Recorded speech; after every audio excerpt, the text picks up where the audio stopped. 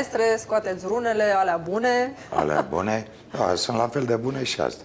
Dar alea sunt mai muncite și astea sunt uh, promovate acum.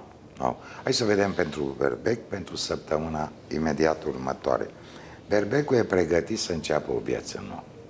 Ce mai stă el la discuție? Mai are, Da, mai are a început, răbdare, a venit maestre? primăvara. Păi viață nouă. E, pentru Berbec, primăvara este și runa, e un soi de revigorare în toate planurile. Și fizic, și psihic. Deci Bine, e, dar e berbecul poate dătător. să-și facă primăvara lui. Păi e, și noi putem să ne o facem. Dar berbecul e mai favorizat că deja a primit și indicația ce poate să facă. Și atunci are frâu liber ca să se revigoreze. Că el găsește N variante de revigorare. Noi Foarte nu trebuie să facem. În schimb, taurul, taurul este într-o săptămână în care primește favoruri, cadouri, este în centru atenției, este iubit. Mi se pare firesc. De ce Deci să e nu răsfățat fie? taurul, Păi e maestre? răsfățat acum, Cadouri de ce plus nu? dragoste? Păi sigur că da. Zice că cineva care se gândește foarte intens la tine îți va trimite un cadou minunat. Foarte frumos. Foarte bine. Să-l primiți cu plăcere, să vă bucurați de el. În schimb, ia uite, o suită de schimbări majore într-un viitor foarte apropiat pentru, Pentru gemeni. pentru gemeni. Gemenii n-au mai avut atâtea schimbări majore. Nu știu ce să facă cu ele acum. Dar e Schimbări? benefic. Știi de ce? Pentru De ce, că maestre? foarte mulți au zis, foarte mulți s-au văitat, Da. s-au văitat că au avut uh, perioadele anterioare anevoioase cu probleme de sănătate, cu lipsă de bani. Iar acum, să mă ierte Dumnezeu, o serie de schimbări majore, viitorul ăsta apropiat este uh, nu mâine, duminică, probabil că de luni. Da? Sau posibil chiar de mâine. Fiecare cum, cum consideră. Hai Deci să să nu vedem. se sperie pentru că sunt schimbări benefice, ziceți. Sunt benefice, păi după ploaie și furtună mai vine și vreme bună. În schimb, racul, uh, racul devine nerăbdător și primește un sfat de la runa Jera. Spune, racule, nu forța mâna norocului. Dacă forțezi mâna norocului, pierzi surprizele plăcute pe care automat eu ți le Deci să voi. nu se grăbească acolo. deci să nu se grăbească, să nu forțeze mâna norocului, are ceva el de primit. Și atunci încearcă să, Obțină. să dărâmă zidul ăla ca să obțină. Nu da, e mai racul bine? e răbdător de obicei, maestre? Mm, Câteodată da, câteodată nu. Depinde de stare. Are aia. E în funcție de necesități și de urgențele pe care le are. Că dacă are tot ce îi trebuie și știe că mai îi se oferă ceva în plus, are răbdare. Dar când e stringent că el nu mai are, azi zicem așa, a terminat uh, zahărul.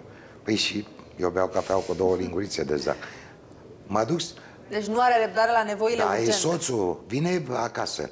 Până să vină acasă, ea bate la vecina. Dăm și mie o ceșcuță de zahăr, că ți-o aduc imediat când vine soțul. Deci nu e cazul. Da. Nu e cazul. Ca aia îi dă, dar în loc să-i dea zahăr, nu n-a fost atent și era sare de aia de mare. Că era la fel de cristalizat. Eh, Ne-am amuzat acum. Deci Așa. le-am dat un exemplu. În Leu. schimb, Leu, Leu are o săptămână alunecoasă, pe o boșghiță de gheață subțire. Deci să fie atent un picuț la acțiunile lui, la faptele lui, la întâlnirile cu Se cine le supără are. leul Să și- fie foarte, foarte, foarte precaut. Da? Pentru că a venit acum primăvara, suntem în luna martie, se topește gheața. Deci trebuie să stea liniștit, maestre, asta spuneți. Să nu iasă din zona... Nu să stea liniștit, să stea precaut, Ah, să fie da. precaut, că lini... știi, putea să spună stai cu minte și așteaptă că vine la Sfântul așteaptă. E, ia uite Fecioară. uraganul la cine s-a instaurat. La fecioare. Deci, fecioarele sunt pe punctul să declanșeze un ceartă, un scandal. Ce pentru faceți, ceva. maestre? Au ceva de, de rezolvat ele, nu știu ce au. Da? Și au luat să, să dispute toată treaba asta. Iar Hagal spune, totul se aranjează. Fii calm, că totul se aranjează. Nu trebuie neapărat să faci scandal și te vatură multă, că nu e bine. Dacă se supără fecioara, maestre, Aoleu. Aoleu. Nu e Eu bine. zic să te ascunzi, să fugi undeva, că întâi te bate cu vorba și te toacă. toacă, aici te era, toacă da? chiar dacă nu sunt vinete pe piață, ea găsește vinete și uite așa te face. Ca pe salata de vinete.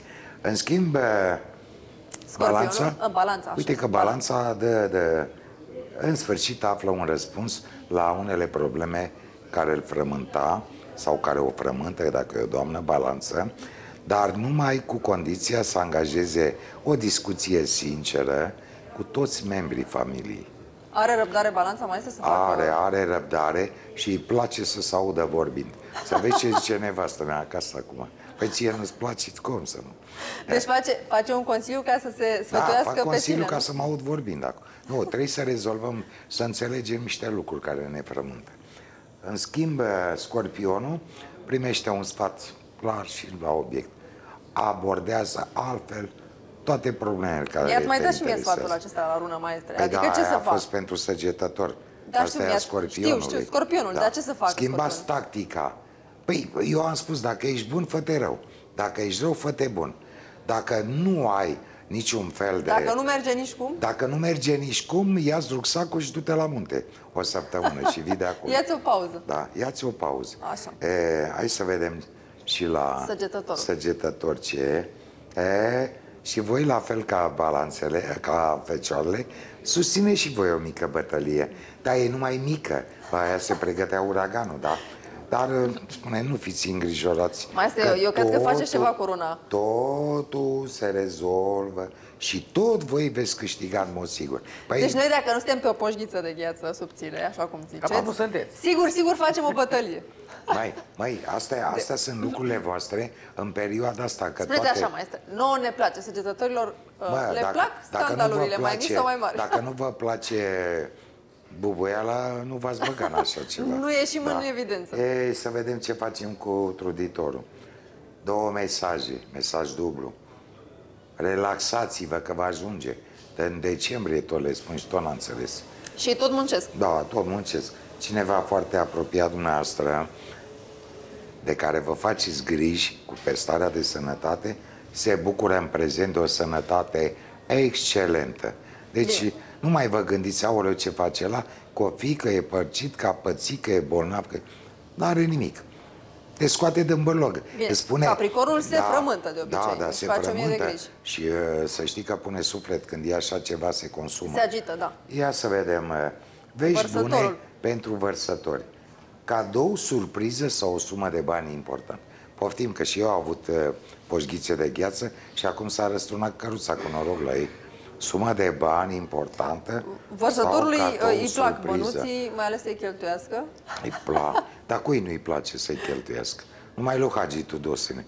Iar peștii, peștii ce să facem noi cu ăștia, mă? Ăștia trăiesc în călătorii Așa. și din dragoste.